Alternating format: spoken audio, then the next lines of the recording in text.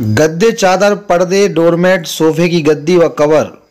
दोहर, कंबल, रजाई मिलने का स्थान, अप्सरा इंटरप्राइजेज बजाजी लाइन दमोह। बचपन से लेकर पचपन तक, हर उम्र के रेडीमेड कपड़े व साड़ियों का संपूर्ण कलेक्शन एक ही छत के नीचे kids wear girls wear ladies wear men's wear Radha Kishan super marketing, Bundabau complex Damoh. बाज़ार से कम कीमत पर दमोह के व्यापारी हो जाए सावधान। एक अनोखी चोरी का मामला।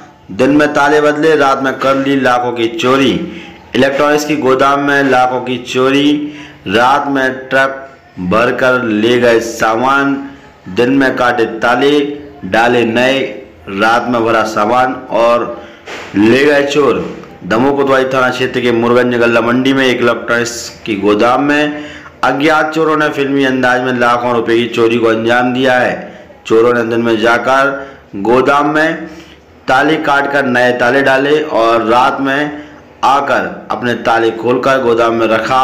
लाखों रुपए का माल ट्रक में भरकर रफू चक्कर हो गए।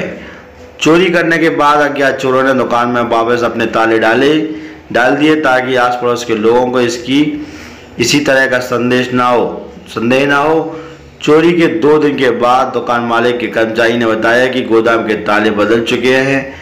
जाकर देखा तो गोदाम में रखा लाखों रुपए का माल चोरी हो चुका था।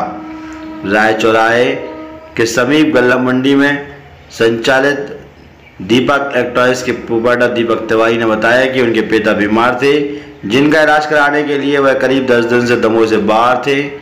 9 जुलाई को जब दमोह पहुँचे तो उनके कर्मचारी ने बताया कि गोदाम में जो ताले लगे हैं, वह अपने नहीं हैं। जाकर देखा तो बाद में सच्चाई पता लगी, पुलिस को खबर दी। ताले तोड़कर देखा तो गोदाम में रखे एसी फ्रिज कूलर और अन्य करीब 10 से 15 लाख के इलेक्ट्रॉनिक सामान चोरी हो चुके थे। इसके बाद आसपास के सीटीवी सीटीवी फुटेज देखे गए जिसमें चोरी की पूरी वारदात सामने आई। क्या कुछ कहना है? दुकान संचालक का सुनते हैं। पुलिस के द्वारा पूरे मामले की जाँच की जा रही है। जो दीपक इलेक्ट्रिकल्स की दुकान है इसी गोदाम में चोरी हुई है। क्या है पूरी घटना और कितनी की चोरी हुई है? भैया मैं पंद्रह बीस दिन से नागपुर में अपने पापा का बाईपास ऑपरेशन कराने गया था।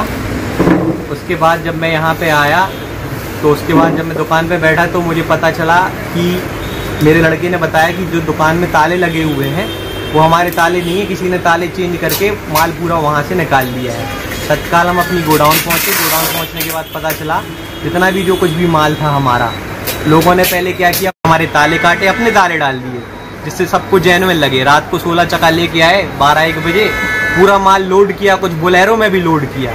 हमारा दस पंद्रह लाख का कुछ माल रखा हुआ था गोडाउन में और पूरा माल उठा के वहाँ से रफू चक्कर हो गया क्या क्या था उसमें? फ्रिज था वॉशिंग मशीन थी टीवी एसी वगैरह थे कुछ कूलर्स बचे हुए थे हमारा सीज़न खत्म हो गया था। हमारा मतलब गोडाउन पूरा लवालब पैक था। चोरी कितने की होगी लगभग? दस से पंद्रह लाख रुपए का सर हमारा माल गया है। कुछ माल वो छोड़ के भी गए हैं क्योंकि उनके उसमें ठेला पे या बोलेरो में बना नहीं।